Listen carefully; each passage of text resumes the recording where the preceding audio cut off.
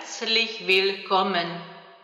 Tauchen Sie ein in die geheimnisvolle Welt Venedigs, die Metropole der Liebe.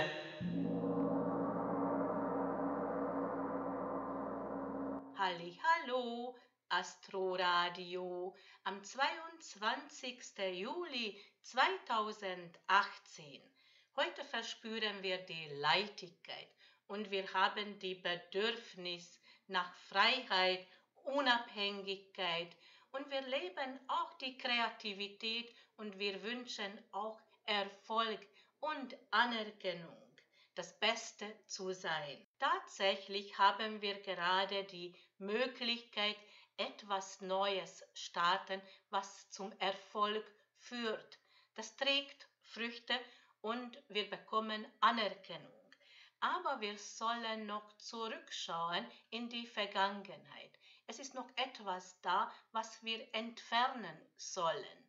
Trennen, kündigen, loslassen. Das kann auch die Angst sein. Wichtig ist im Atem bleiben, weil das gibt uns gerade die Leichtigkeit.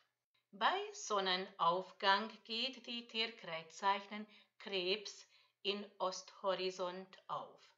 Das bedeutet für die Krebsgeborenen etwas ins Licht zu bringen, etwas präsentieren und auch die Bedürfnis wahrgenommen werden und tatsächlich werden die Krebsgeborenen gerade wahrgenommen. Die Gespräche sind auch sehr wichtig gerade bei den Krebsgeborenen, weil sie haben die Bedürfnis etwas klären die Tierkreiszeichen Löwengeborenen ist wichtiges Thema, die Liebe, Partnerschaft und genau das bringen sie die Löwengeborenen in Ordnung. Wichtig ist auch bei den Löwengeborenen die Werte und die Wertschätzung, aber auch die Finanzen. Bei Tierkreiszeichen Jungfraugeborenen ist eine gute Nachricht zum Erwarten. Es ist eine kleine Reise möglich oder ein Besuch von Bekannten oder Verwandten. Die Tierkreiszeichen Wagengeborenen brauchen Sicherheit und Stabilität und die Glück steht in die Seite der Wagengeborenen, weil sie haben gerade gute Chancen, Möglichkeiten für einen Neuanfang. Die Tierkreiszeichen Skorpiongeborenen kommen Veränderungen und Sie können mit unerwarteten Ereignissen rechnen. Bei Handlungen ist sehr wichtig, dass Sie intuitiv handeln und Sie sollen Ihre Kreativität zeigen und im Leichtigkeit bleiben. Bei Tierkreiszeichen Schützengeborenen ist sehr wichtig gerade die berufliche Situation, weil das, was die Schützengeborenen in Ordnung bringen.